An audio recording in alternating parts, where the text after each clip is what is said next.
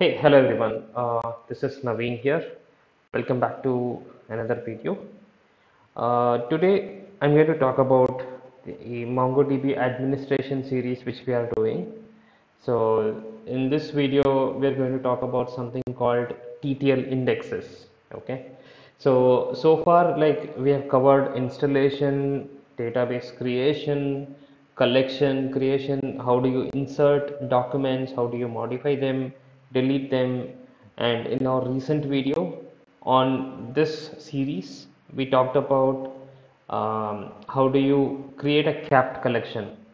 So at the end of the video I talked about like MongoDB has a special option where you can automatically set up data archival process okay? So TTL index is something which is going to provide that functionality. That is what we are going to see today so TTL is nothing but time to live okay? So you're going to basically define and say like for how long your data or your document is going to stay in the collection. That's what you define in the collection. And within the given time if that time period is crossed it's going to remove your document okay from the collection. So that is what this TTL index is going to do that's just a high level definition of what it does. So now let's see it in action. I'll show you like how you can create how you can play with it. So let's see it in action. Okay. Let me switch my screen. Okay. I have my instance running. Okay. Uh, this is the instance which i'm going to use. And i have created a database. Okay called TTL demo for this uh, demonstration. If let me see okay I already have a collection called uh, um, service log. So let me drop that okay so that it will be like from doing it from the scratch. So now I don't have any collection collections in my database uh, for the sake of this demo, I had a simple insert statement which was created just to load some data. I just have like three records in this. Okay. If I do db dot service log find just to you can think of like this collection is going to uh, have some real-time logs which your application is generating for example so I just have this series of events saying like uh, service terminated, then service started, then service stopped. So I can again do the same insert maybe after a few seconds. And right now we have some data okay? So you can see like this this is the set of logs which is written. And just keep a note on keep an eye on this timestamp okay? So it is like 1934 20 seconds and this is like 1934 55 seconds. Now uh, this is just a normal collection which we just created okay? So now we will see like how you can create or you can add a TTL index to it so that we are going to delete data based on a time. So to uh, one of the basic uh, one of the uh, prerequisite to create a TTL index is your collection should I mean in your document should have a timestamp column okay so if you take a closer look to the insert statement, so here we have something called runtime which I am inserting with the current date. Okay, so that is what you see here. Runtime is it is printing the timestamp. Okay, like in SQL Server how we have get date function.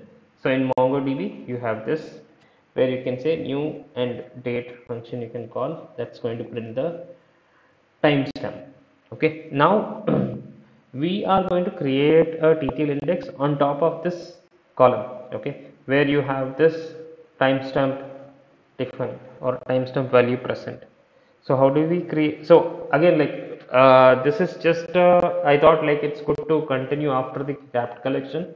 Still indexes again we, I'll try to cover it in a separate topic. Maybe after this I'll I'll talk about index in the next video so don't worry about syntax. It is like pretty much uh, simple i would say. So first let's call the service log and I'll say create index. And I'm going to define like on what column I'm going to create the index. So in this case it's going to be runtime. And I'll say whether it is ascending or descending. Then I'm going to define the uh, expiry date or up to what time the given document is going to be valid. So I'll say expire after seconds. So this is in seconds okay? And maybe I'll say like expire anything older than maybe uh, 30 seconds okay? So once I create this okay now I we got our index created so how do you check if you have your index? So we have a separate command for that. And now I have my index where I have set expire after seconds as 30 okay? Now that we have this index let's go and query it. So let's see. Now ideally this record should expire so internally mongodb has a background thread which wakes up in a frequent a specific interval and it does the cleanup okay? It will check what all records are expired and then it's going to delete it. So let's wait for some time. So that runs i think uh, by default that thread runs for every 60 seconds okay? So since that like just now we have enabled this let's wait for some time. Ideally it should trigger and uh, it should clear the logs. So let's wait and see. Um, db dot. Let's quickly check the index. I just want to cross check it again. Expire after seconds. Yeah this looks fine. Let's wait for some time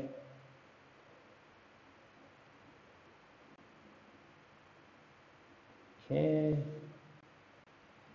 This is still there. Okay. So let's see. While this is getting executed right we'll try to see like what is happening with our ttl thread. Okay. Uh, let me do one thing. So we have so in this admin database we have few parameters which will define that. Let's do an admin command and i know like uh, i haven't talked about these things. So here you can query you can run admin command and set like what value you are looking for. So i know there is a separate uh, parameter for this TTL monitor. Let's quickly check that. Monitor sleep I think okay wait.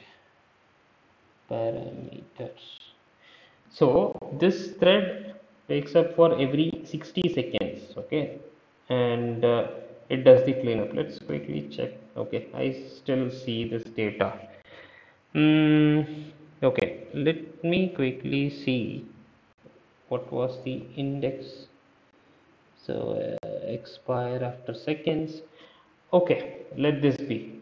Okay now we know like this is the default things. So it's good that it's not uh, deleting. Let's try to troubleshoot and see what is happening. Okay. Now uh, we know like this is the thread. So let's query this server status. We have a metric for TTL let's query that so this value ideally if your TTL thread is running for every 60 seconds you should be seeing this getting incremented. So whenever a successful uh, execution is done or a scan is done, this value gets incremented. Let's see if this is getting incremented. If this gets incremented, then yeah, we should be good ideally. Okay, this is one place where you can come and monitor things. And another option is okay uh, we have something called uh, logging level. Okay? So you could also enable verbose logging so that it gets logged to your um, this thing uh, mongodb logs. Okay so let's quickly check what is there as well. I'll quickly show you. Mm, let's see. Okay. Now you see like this got incremented to 41 i'm hoping this should have done the cleanup now. Let's see. No it didn't. Okay. So let quickly check if we have created the index on the correct column. I'm sure it is. Let's quickly check that once. Runtime expire after seconds. Service log create index. I just want to make sure like we are not missing anything.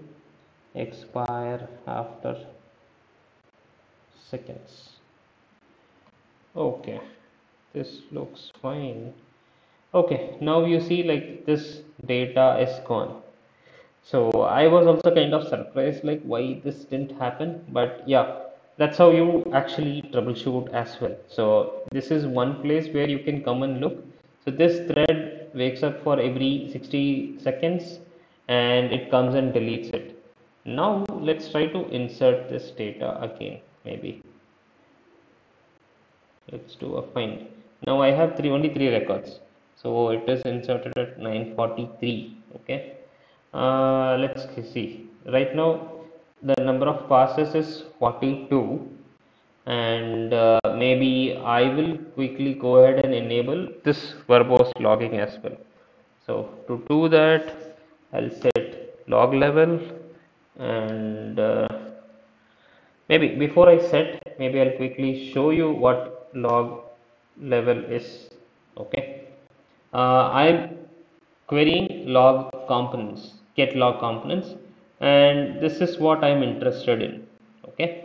So index verbosity is set to minus 1 okay? Let's go ahead and set it to you can set something from 1 to 5 depending on the verbosity. Now I'll say set log level and uh, it's going to be for index and let's execute it. Now let's run this command again and we'll quickly check.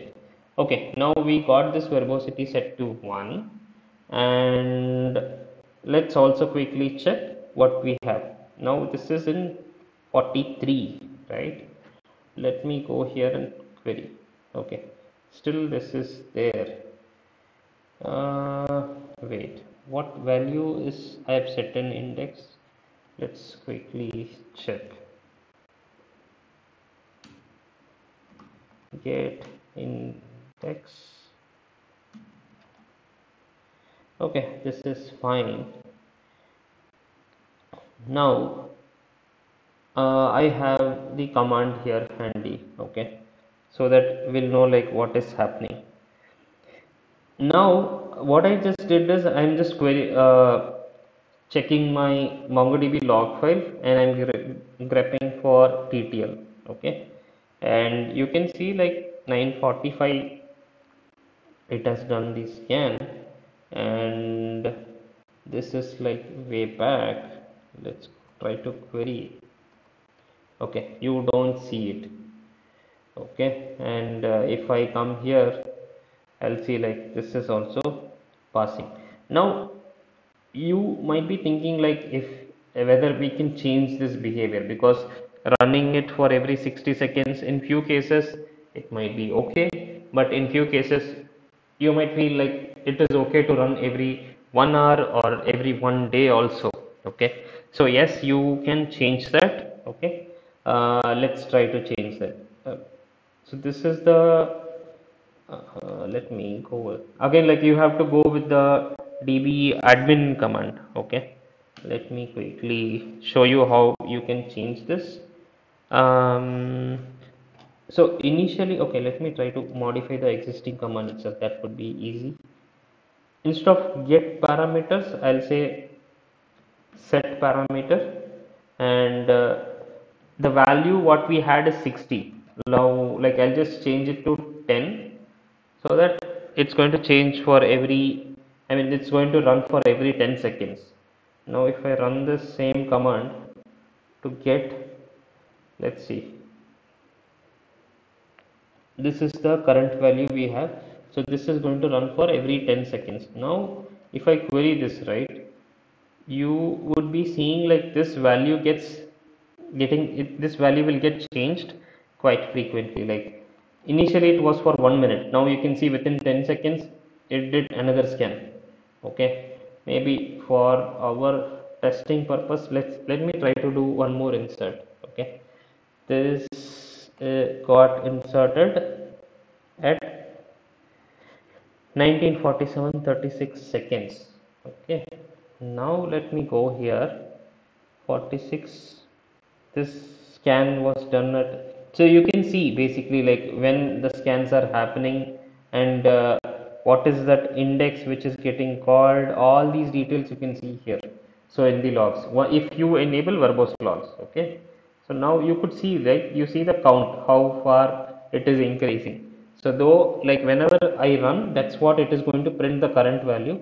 Now let me go and check this. So I don't see anything. So since we have increased the frequency we can see the cleanup happening at much more faster rate okay? So that is how like you can troubleshoot. Like there are chances you might face issues with uh, TTL thread not working as expected and there are chances you could also disable this okay? So there is a startup parameter also which can be used to disable this TTL index also. Or if you have any sort of HA configured and if you are having any issues with that that could also affect this behavior. Okay. Um, so that's all I had for this video. Maybe in the upcoming sessions I'm going to talk about more about like indexes how you can view the execution plan what kind of indexes you could create those things we are going to see. So let's see. You can expect more videos on this uh, MongoDB administration. Once the indexes are covered, maybe then we can talk about backup and restore, security, then we can move on to HA and other things. Okay. So that's all guys. So that's it for now. I hope you liked it and uh, I mean the troubleshooting was completely unexpected. I thought the demo is going to fine, going to go fine, but uh, it's good like uh, we were also able to do a troubleshooting and uh, you got to learn new commands which you could use for troubleshooting okay? So i hope you liked it. So do please do let me know the feedback on the comment section and uh, that's all guys. Thank you. Bye